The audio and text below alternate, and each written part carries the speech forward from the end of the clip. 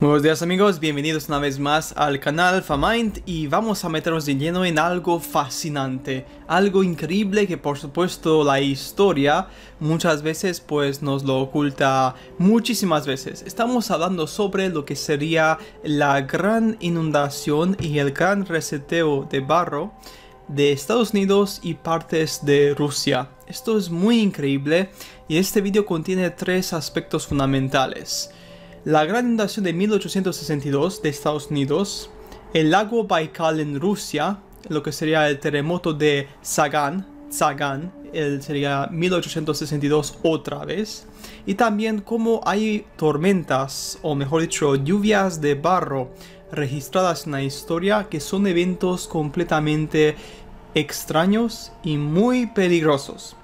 Empezamos con lo que sería pues eh, la inundación de 1862 pasó en Estados Unidos y duró varias semanas. Esta inundación empezó a finales, lo que sería pues de 1861, lo que sería noviembre, y terminó en enero en el 62. Su duración completa fue alrededor de 40 días. ¿Recordáis que fue 40 días también? Pues claro está, el diluvio universal. Ojo, que esto se pone muy curioso. Después de esto, pues, eh, lo que sería, pues, durante este evento, lo que sería, pues, los destrozos se dieron en los siguientes estados. California, Oregon, Nevada, Washington, New Mexico, Utah, Arizona, Idaho, Sonora. O sea, Imaginaros todos los estados que estaban afectados por estas tormentas. Ahora bien, los expertos dicen, según su hipótesis, de que esto se conoce como Ark Storm. El arca, eh, tormenta del arca, el arca de Noé básicamente. Esta tormenta que fue, pues, este documento que fue publicado por el uh, Multi-Hazard Demonstration Project de Estados Unidos, este proyecto, pues, documento nos dice de que unos eventos de este tipo podrían ocurrir en el mundo y muy curioso es que el proyecto, lo que sería pues este papel publicado sobre el Arkstorm, fijaros cuál es su logo. Aquí os parece también bastante extraño y bastante conocido. Pues claro está, es el logo de la Tierra plana. Tenemos el domo, tenemos lo que sería la parte de la Tierra con diferentes niveles inferiores que ya comentamos en mis vídeos hace mucho tiempo, cómo la Tierra tiene diferentes niveles y en estos niveles, quién sabe lo que hay dentro porque nadie fue lo profundo de esta Tierra. Y también tenemos después pues la casa o el arca y un símbolo de un rayo. Muy obvio, muy obvio de que esto que sería pues el símbolo de esta gente querían transmitirnos de manera indirecta porque claro está, estos científicos no podían decirlo así por las buenas porque no se les tenía permitido, pero querían transmitir por lo menos a los que supiesen estas cosas, a los que sabían pues leer la simbología de que estas tormentas eh, el Arc Storm, ¿no? que pasó también en el, 80, el 82, solamente son posibles si tenemos en cuenta de que hay un domo protector y la tierra pues el agua vendría de otro lugar ¿de acuerdo? Porque en condiciones normales, en un globo, una Tierra globo, este tipo de tormenta es prácticamente imposible, porque ¿de dónde sacas tanto agua para que llueva durante 40 días de manera continua en un país? Es que no hay. Es imposible, es prácticamente imposible que eso exista. Por este motivo, la única explicación lógica, según esta gente, claro está que lo, lo muestran en su simbología, es de que las aguas vendrían de otro lugar. Muy importante. por supuesto, esto es, una, esto es una opinión. Cualquiera pues puede interpretarlo como quiera y cualquiera puede decir que estoy equivocado porque por supuesto cada cual tiene su punto de vista. Pero interesante es que el Arc Storm, pues eh, que duró eh, alrededor de lo que sería pues 40 días, dejó muchos destrozos, mucho, muchos problemas en todo el país, arrasó con granjas, ganado, de todo. Fue un desastre increíble. Bien, pues también interesante es lo siguiente. 1861 a 1862, ¿qué pasó?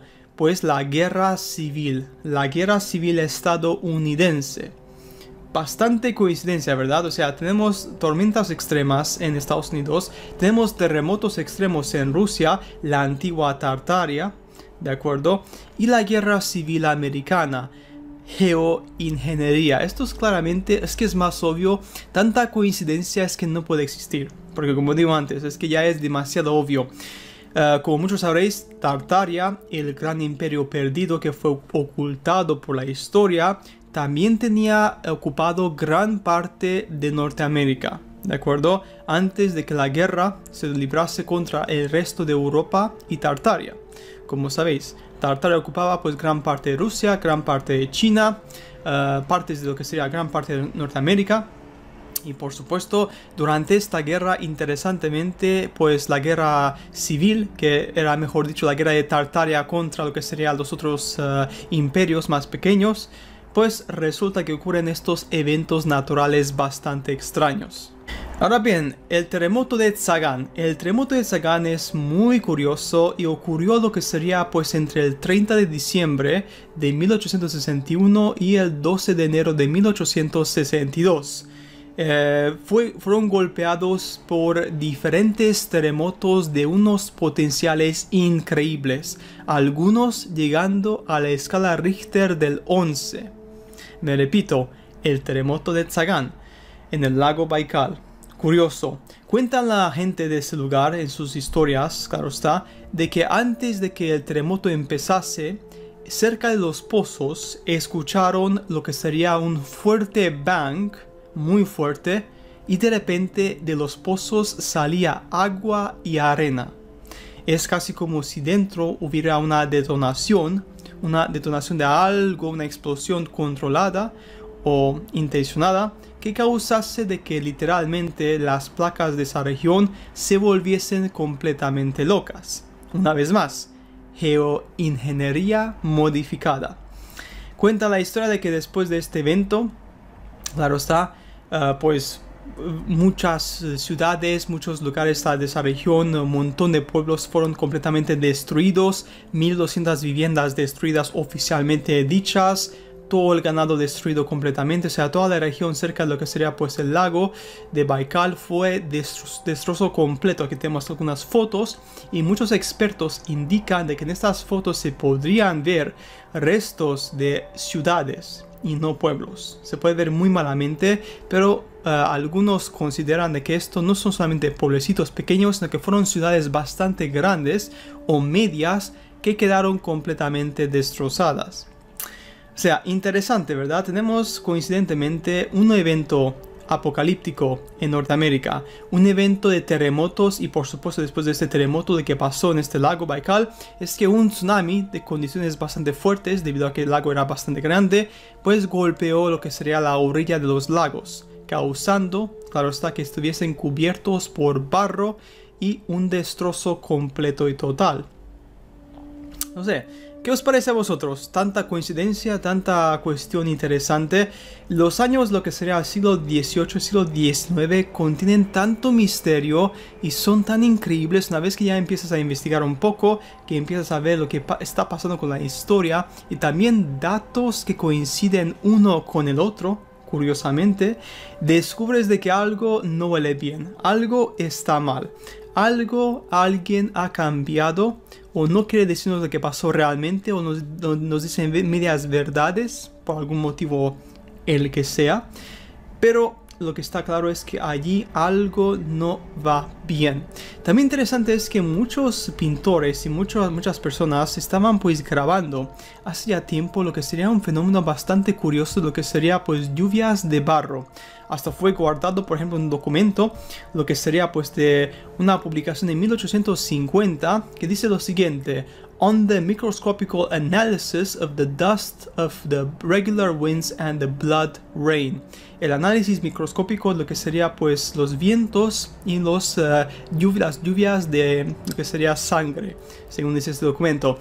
Este documento hay una parte donde dice lo siguiente, mud rain, lluvias de arena, mejor dicho, lluvias de barro lluvias de barro y hay algunas pues, ilustraciones muy interesantes que fueron hechas por antiguos artistas o pintores del tiempo que muestran exactamente esto, como una lluvia de barro está cayendo sobre las ciudades y causando destrozos. Por ejemplo, tenemos Luzener Schilling, tenemos también lo que sería otro artista, Vrubel, tenemos otro más, Edward Munich, Eh, tenemos también uh, Jazep Dravovich. Se puede ver claramente los cielos pues tipo marrón, igual que barro, y desde el cielo pues caería barro que afectaría pues a los edificios de forma bastante grotesca. Imaginaros una tormenta de barro que duraría pues días o semanas. Las ciudades quedarían completamente sepultadas bajo este barro, olvidadas como siempre. Un reseteo en todas condiciones. Si ya no te queda claro con este vídeo, te lo explico de manera muy llana y muy simple. Entre el siglo XVIII y XX pasó algo en esta tierra de unas condiciones bastante extremas, que podría ser lo siguiente. Inundaciones, reseteos de humanidad, más lo que sería pues diluvios, ¿de acuerdo? En diferentes lugares y también explosiones, como dijimos antes en videos anteriores, de bombas de un nivel energético extremo, que por supuesto se utilizó con tecnología secreta proporcionada por otros seres de otras partes de este mundo, otros distritos. Recordad, la Tierra tiene diferentes niveles, diferentes niveles dentro de la Tierra y quién sabe quién vive ahí dentro. Esto es muy fuerte. Quién sabe quién está ahora mismo ahí debajo debajo para nosotros, pero para ellos puede ser lo, lo revés. O sea que es muy interesante todo esto. El mundo esconde un montón de misterios, espero que os haya gustado este vídeo, espero que este vídeo os haya ayudado un poco más a entender de que la casualidad no existe. Y aquí se puede ver claramente que estos eventos están vinculados uno con el otro de manera increíble y los sucesos detrás de estos eventos, lo que cuenta la gente, lo que pasó y cómo se desarrolló, nos muestra de que algo pasó de manera artificial. Alguien con alguna tecnología hizo esto posible, porque esto natural lo veo muy improbable. Bien amigos, pues nada más, nos veremos en el próximo programa de Mind con más información importante sobre nuestro mundo y las verdades que nos ocultan todos los días. Nos veremos muy pronto. Hasta luego.